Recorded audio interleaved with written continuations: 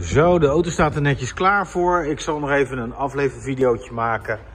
Dan kunnen we de tekst en de uitleg gelijk geven. Nou, aan deze kant zitten dan natuurlijk de elektrische ramen en de elektrisch verstelbare spiegels. Die kunnen we dan natuurlijk op de linker of op de rechterkant zetten. En dan werkt het gewoon als een joystickje. Uh, inklappen en uitklappen van de spiegels uh, kunnen we ook natuurlijk doen. Ook door middel van de knop. Aan deze kant dan de koplamp hoogteinstelling en de dashboardverlichting kunnen we stellen. Dus die zit dan aan die kant. De automatische verlichting. Moeten we even gewoon op auto drukken, dan doet hij het helemaal automatisch.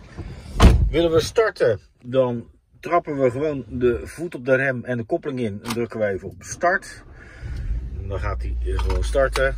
Sleutels kunnen in de sleuf, maar het hoeft niet. Ja, hier zit die sleuf. Daar kan dus die sleutel in, maar het is smart key. Dus dat betekent inderdaad dat die hoeft in principe niet gebruikt te worden. Die kunnen we gebruiken. Dus dat is gewoon de mogelijkheid om dat wel of niet uh, te doen. Uh, mocht het batterijtje op zijn in die sleutel, dan moet je hem wel gebruiken. En in dit geval, omdat de batterij gewoon goed is, is dat verder eigenlijk niet, uh, niet nodig. Nou, het is een zes versnellingsbak. Betekent ook dat er achteruit naar, naar voren zit in plaats van naar achter. En dan moeten we even een marchetje voor omhoog halen. Dus als ik die omhoog haal en ik zet hem in de achteruit, dan uh, staat hij erin en dan gaat ook gelijk de achteruitrijcamera gaat zijn werk doen.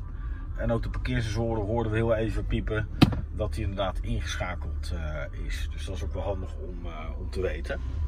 Nou, verder natuurlijk nog de klimaatregeling. We hem even op auto.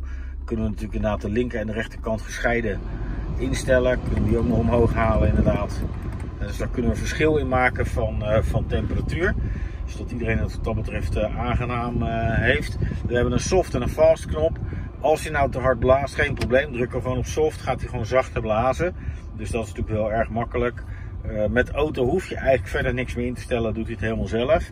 Maar we kunnen nog bijvoorbeeld kiezen voor de vooruitontwaseming, de achteruitverwarming en de airco uit te zetten. Kan eventueel ook nog. Dus dan, nu regelt hij helemaal zelf.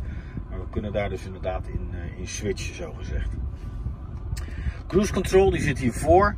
Even naar voren drukken en dan, uh, dan staat hij op de snelheidsbegrenzing.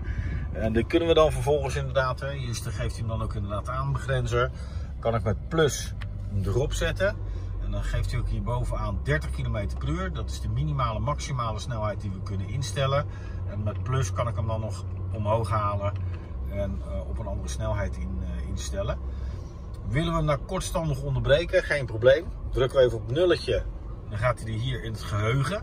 Geeft hij dan ook inderdaad aan dat hij in het geheugen staat. En willen we hem weer terug hebben. Dan drukken we even op het R'tje. En dan staat hij weer op de begrenzer zoals we hem in hebben gesteld. Hadden we nou 80 gereden, had hij gelijk op 80 gestaan. Hadden we 100 gereden, had hij op 100 gestaan. dus we kunnen dat ook onder het rijden gewoon op die manier doen. Dat geldt ook voor de cruise control. Alleen is het dan deze hendel even terugzetten naar beneden. En dan staat hij op de cruise control en geeft hij aan een regelaar. En dan houdt hij dus de snelheid vast. En in het andere geval is het de maximale snelheid die, uh, die het gaspedaal eigenlijk uh, geregeld is. Nou, verder voor de navigatie hebben we eigenlijk hier onderin de knoppen om te bedienen. Dus daar kunnen we alles mee, uh, mee instellen. Bijvoorbeeld inderdaad de destination, waar we dan natuurlijk heen moeten. Of inderdaad de map voor de kaart zelf. Dus dat is allemaal met dit paneel om, uh, om verder inderdaad te regelen. Nou, wat betreft de spiegel, daar hoeven we niks mee te doen. Er zit geen hendeltje meer onder, er zit een, een dingetje in aan de onderkant. Wat de, de licht meet eigenlijk van degene die achter je zit.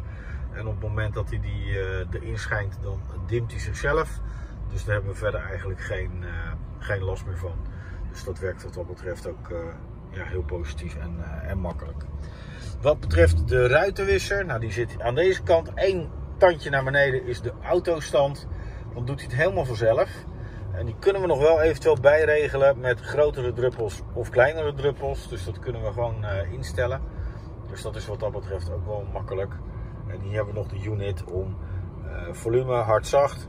Uh, hierachter zit nog een wieltje om de volgende track bijvoorbeeld inderdaad. Als we een een device aansluiten, kunnen we dan ook nog regelen. Telefoonnummer of telefoon opnemen, afbreken. En natuurlijk inderdaad de source ernaast om uh, te switchen tussen bijvoorbeeld USB of uh, radio of cd. Dus we kunnen dat wat dat betreft heel makkelijk, uh, makkelijk regelen. Dan denk ik dat ik op zich zo het meeste wel gehad heb. Zijn er toch nog vragen, dan, dan hoor ik het graag. Laat het dan even weten. Voor nu in ieder geval hele fijne, veilige kilometers toegewenst. En tot straks bij de aflevering.